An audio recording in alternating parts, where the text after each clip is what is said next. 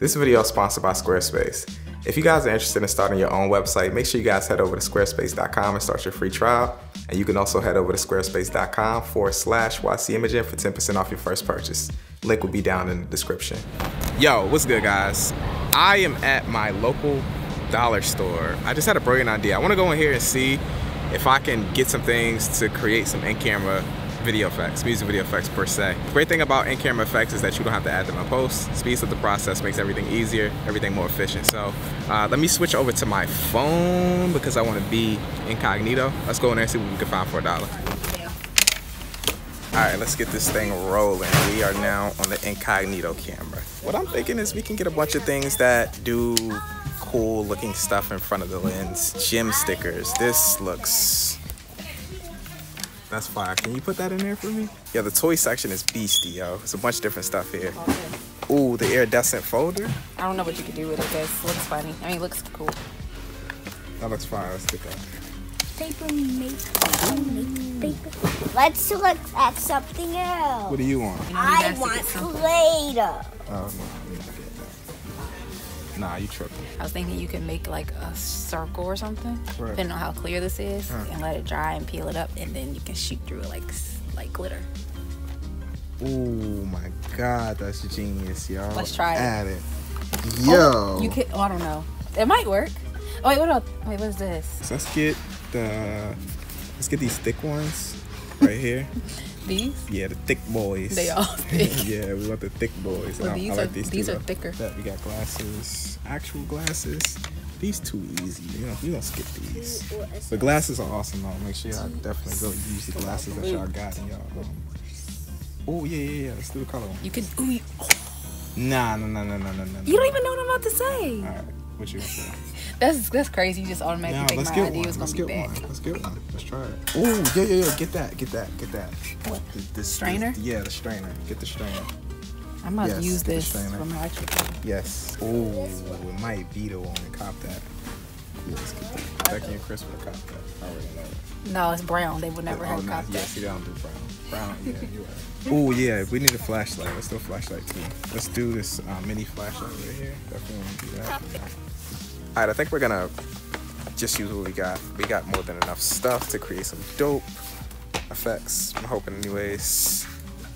Check out, tell y'all how much I paid, set this stuff up, get these effects rolling. We'll talk about it later in the office where I have more clear understanding of what this stuff actually does. But I know it's gonna be dope, I already know. All right, so we're back at the crib. I wanna share really quick the stuff that we got from the dollar store that we're gonna dive in in a second and do some in-camera effects with.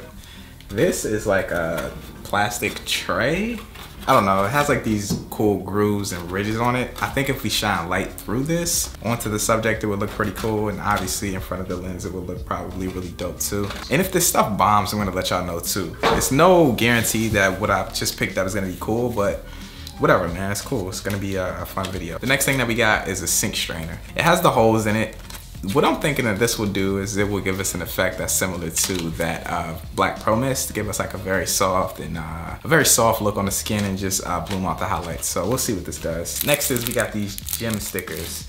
Now these I saw doing some stuff, but I don't know if these are clear or not. So um, if these are clear, we should get some really cool effects on the lens. The next thing we got is this iridescent folder. I like this, it has like the color changing effect right here. This looks dope. Next thing we got is a light bulb.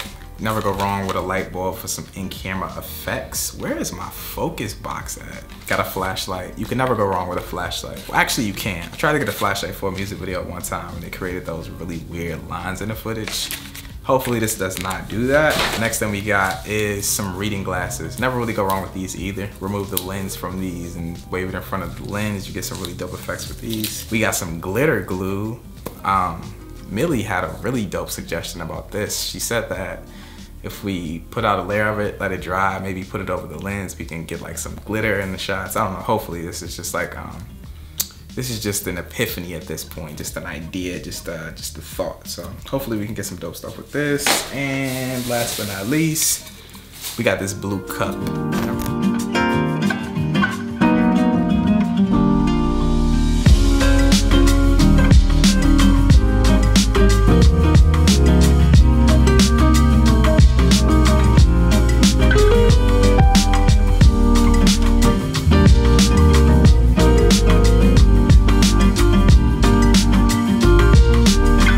Third time recording this, third time attempting to record this. I'm back in the office, I've done the filming, I've looked back at the footage, I'm ready to reflect on these items that we picked up at the dollar store and how they affect your image. I wanna talk about the things that I liked, uh, some of the things being my favorite, and some interesting finds that I did run into doing this video. So uh, let's get into it. First and foremost, I wanna say that everything that I picked up at the dollar store did have some sort of effect but I decided to just talk about the items that had effects that were uh, unique. A lot of the items had effects that were similar of some of the other items. So uh, first and foremost, let's talk about the flashlight because you can never really go wrong with a flashlight honestly i feel like every cinematographer should have some sort of flashlight in their bag the flares that you can get from these flashlights is just awesome that's extra spunk to footage and also an extra source of energy if that's something that you're going for depending on how you're going to be using this in a shot so you never really go wrong with a flashlight, man. Flashlight's always a plus. This, let's talk about this. Uh, honestly, this was my favorite. This thing right here produced my favorite effect out of all the items that I picked up today at the dollar store. Usually when you use cups in front of your lens, you get like kind of like a clone effect of the subject in the shot. But the fact that this is blue helps separate the actual person in the shot from the clone. So it felt like a like a like an alter ego type of thing for me when I look back at the footage. So this was some of my favorite uh, effects from this entire video. I love this. Let's talk about this. Let's talk about uh, the, the, the the sink strainer. This entire video was filmed using Black Pro Mist. If you look back uh, and, and, oh god, I'm so bad at this. If you look back in the background, you can see this light right here. Um, it's very like hazy and bloomy and uh, this is a look of which you get from like Black Pro Mist. So using this, honestly, guy, like looking at this next to the Black Pro Mist footage, I couldn't tell the difference. This is using a fourth of Black Pro Mist. This is Pro Mist one fourth as well because it looks exactly the same. Now in comparison, like price wise, like I paid like a hundred dollars for this filter. So getting the exact same effect at a dollar store for less than five bucks. I don't know how much this costs. It couldn't cost more than five bucks though.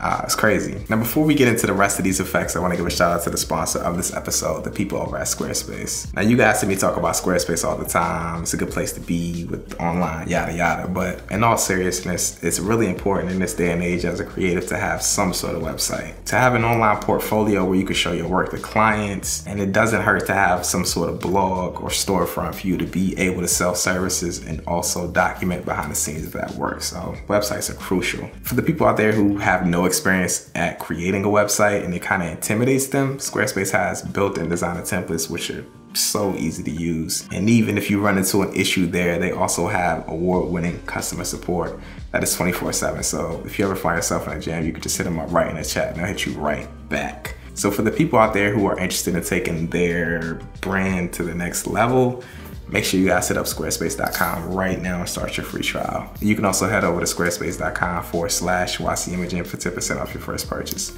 Link will be down in the description. The next thing that we're gonna talk about is these, these reading glasses. The effect from these was really dope as well.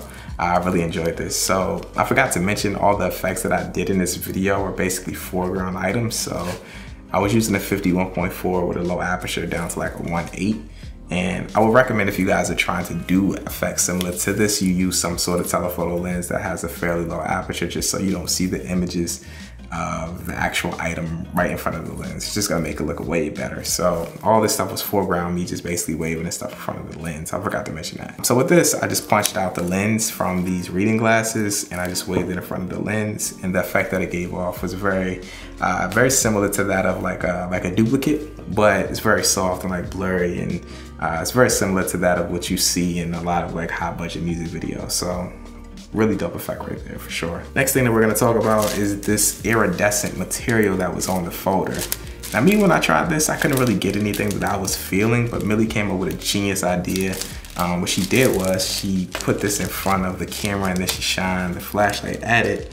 Uh, and the colors that were coming off of the iridescent paper were coming back into the sensor and just creating that RGB uh, split effect onto the image, which was really dope. And the last, but definitely not least, this random sheet of pink rhinestones. With this one, I tried to do some stuff, wasn't really getting anything with Millie came up with a genius idea again. So if you shine the flashlight at this, you can probably see it right here. You can see it's kind of creating a sparkle.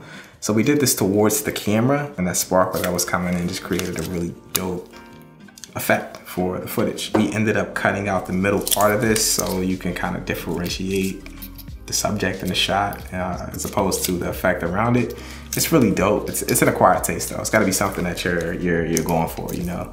Uh, but that's pretty much it, man. All the other things were creating a very similar look of which the the, the eyeglasses were creating and I just felt like these look way better than all the other ones. So if you're looking for this like effect right here, just grab this, the, the, the reading glasses, don't get any of the other things. Hopefully this is some inspiration to you guys to go out and get creative. It doesn't cost a lot of money to be able to create some effects.